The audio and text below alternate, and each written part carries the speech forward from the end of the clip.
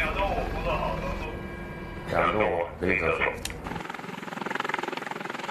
在地面指挥员引导下，飞行员操纵直升机缓缓将全地形车吊起，确定状态良好后增速升空。在这个过程中，由于全地形车悬挂在机身下部，修正偏差主要依靠地面指挥员和空中操作员的指挥引导，这就需要各要素密切配合，使飞行员精准操纵直升机。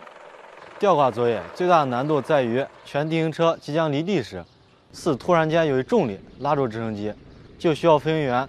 能够精准操纵直升机，保持好状态，使全地形车平稳离地。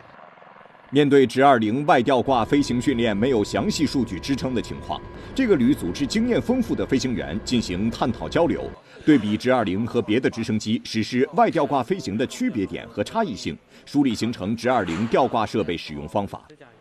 在直二零吊挂飞行训练之前，我们在机铺利用吊车对全地形车进行模拟起吊。根据模拟吊挂这方面数据分析，我们进一步优化吊挂流程，发现风险点，并制定相应措施，从而确保直二零首次吊挂安全顺利。直二零吊挂全地形车，大大增强了我们部队的机动能力，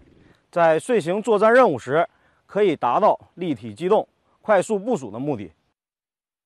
训练结束，参训官兵结合实装经验进行复盘总结，进一步针对吊挂薄弱环节提出切实可行的方案，不断夯实吊挂训练基础。接下来，官兵们将结合演训任务，将吊挂训练融入作战背景，增加夜间吊挂、特情处置等训练，不断发挥其作战潜力。